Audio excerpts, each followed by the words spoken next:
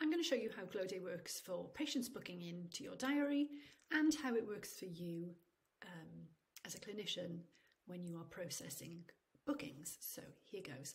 On the right hand side of my screen here, I have um, what we call the branded booking page. So whereas most um, booking platforms provide your patients or clients with the ability to choose a service, choose a location, um, and then book themselves in, we know that when patients are choosing practitioners, there are other factors at play which require um, additional information to be surfaced to that person when they are in the process of booking. Those things are allowing them to trust that you are the right practitioner for them. And so the Glowday branded booking page is configurable by you when you create your profile and it has photos that you've added, it has your biography. Um, patients can choose where they would like to be treated by you, they can choose the treatment that they wish to um, explore. We also surface on this page dynamically your before and afters, which are added to your patient's treatment records, and the reviews that are collected on your behalf through the platform. So, in addition to all of this information, we display your profession and training and also a map of where your patients can find you. I'm going to go through this process and book in as a patient into my diary here. So I'm going to go back to where I can select the location and the treatment, and I'm going to choose my primary um, clinic address, and I'm going to book in for three areas of anti wrinkle treatment. Now, we've built this platform with a medical model of practice in mind, whereby all treatments and appointments have a consultation as standard. Um, we also share with your patients their cancellation policy that you've set, and once they're happy to accept those things, they can then book in with you. Now, you can see here that patients are either required to sign in or create an account. Um, I have multiple test accounts, so I'm just going to pop in one of those here. And once they've logged in, they are then taken to confirm their appointment and they are taken to add their forms. So I'm going to continue. My cards are preloaded from previous um, appointments. I'm just going to confirm those. I can add any information here and confirm that booking. Now immediately we make the forms available to the patient at point of booking.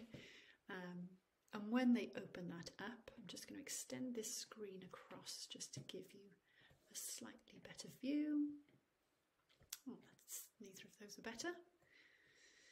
Um, we can see here that the answers from previous appointments are already pre-populated. We are simply going to scroll to the bottom to confirm that the information contained is accurate and then we will sign and save. We can see that this then goes green to tell your patients that they have completed and submitted that form and we can move on to the next. So again, sign, save, and then the forms go green. We do not allow patients to sign consent forms ahead of the appointment. We limit the signing of these forms so that it's following a face-to-face -face consultation. Other things your patients are able to do within this account area, they are able to view their appointment they can see what they're booked in for and the cost.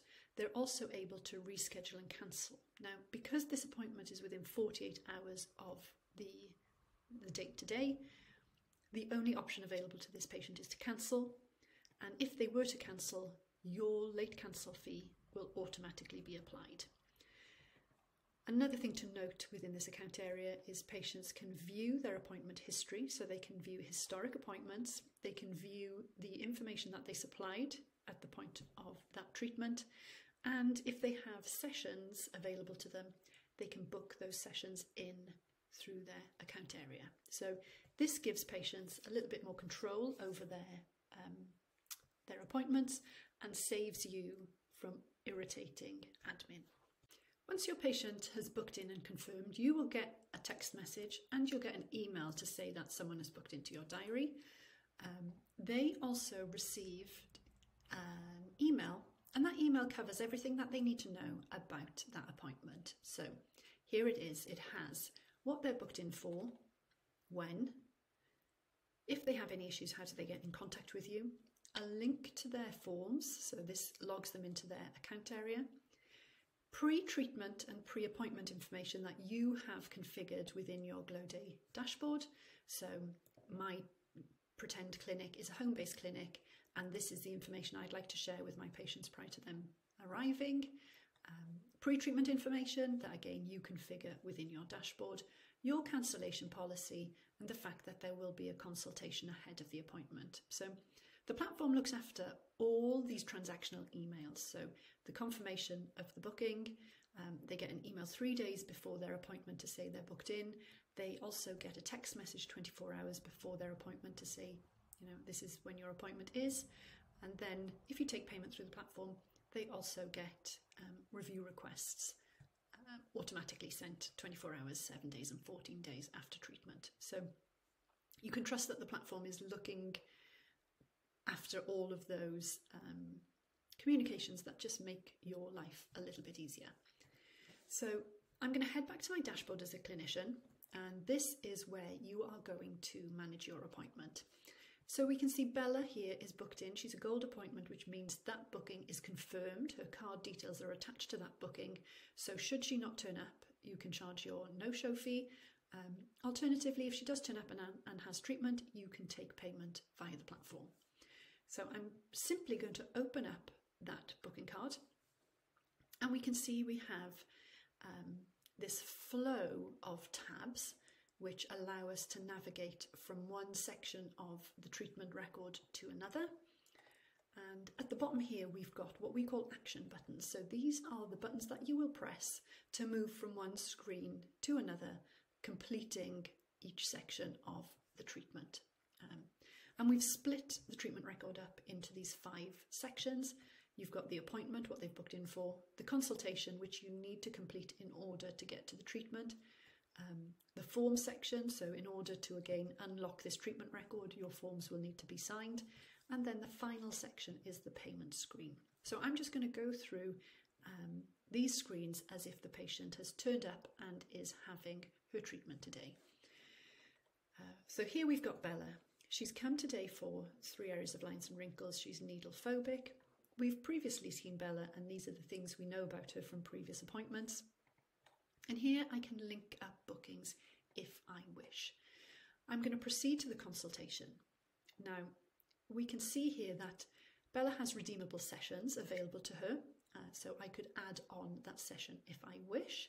Uh, for now, we're just going to go ahead with the three areas of anti wrinkle treatments. Um, here I can write in any um, additional notes. So I've got some pre-saved in my snippets. Uh, you can add those notes and they are saved, encrypted and anonymized. You can upload files if you wish and you can add in this email summary which is sent to the patient after the appointment. Now, once you are happy that you have conducted that consultation, you have noted down anything you need to, and you have recommended treatments, you can then proceed to the treatment. Now, this is going to load up the forms that the patient signed ahead of the appointment, but we can see that we've got this consent form that hasn't yet been signed.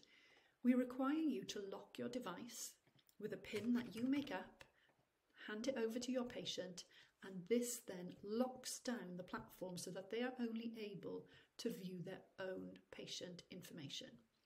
We can see that two of these three forms are signed. Bella simply needs to sign this last remaining form. We can pop to the bottom, we can sign, and once that patient has finished, they can then hand the device back to you. You unlock it and go ahead with the next step, which is the treatment plan. So all of that information is now saved against that patient record. All of that now will be encrypted and anonymized in um, a cloud, and we can proceed to the treatment. So here we are, we have completed and checked this patient in, and we've said we're going ahead with the consultation.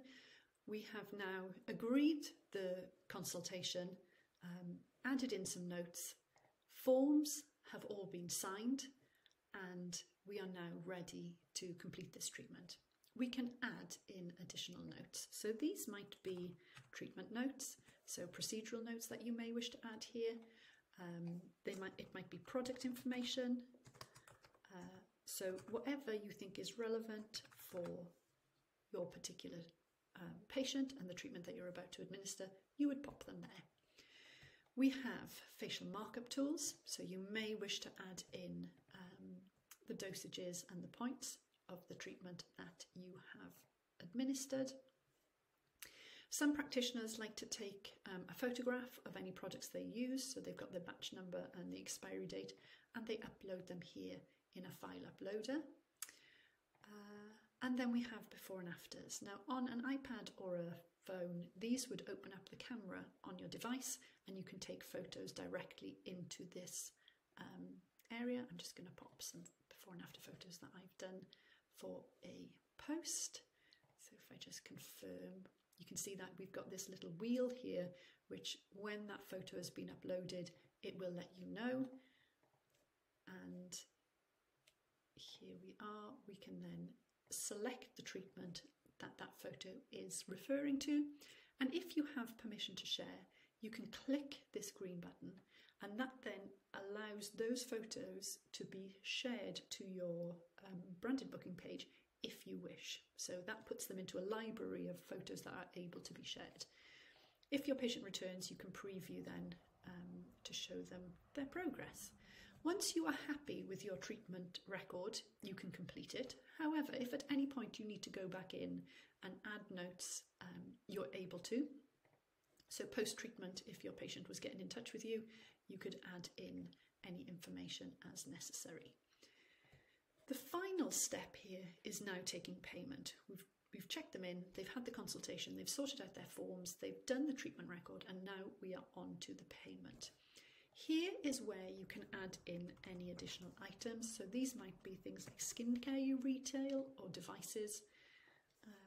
We also have the ability for you to apply any discount. So if you offer NHS discount, if you're running an offer on a particular treatment, then that's where you can discount it just at checkout.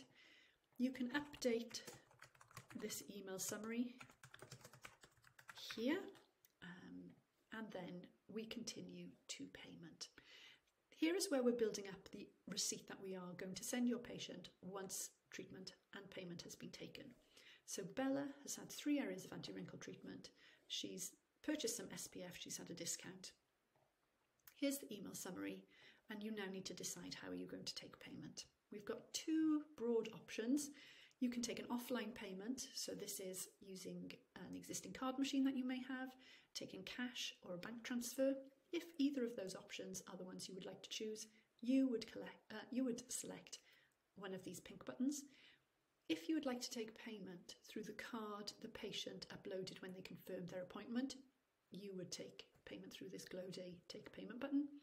We also have a card reader and an app, and if you would like to take payment through that card reader or app, you can click that button. Now I'm going to take payment just through the card the patient uploaded. The funds from that patient's account go into your Stripe account and then two days later are paid into your um, allocated bank account.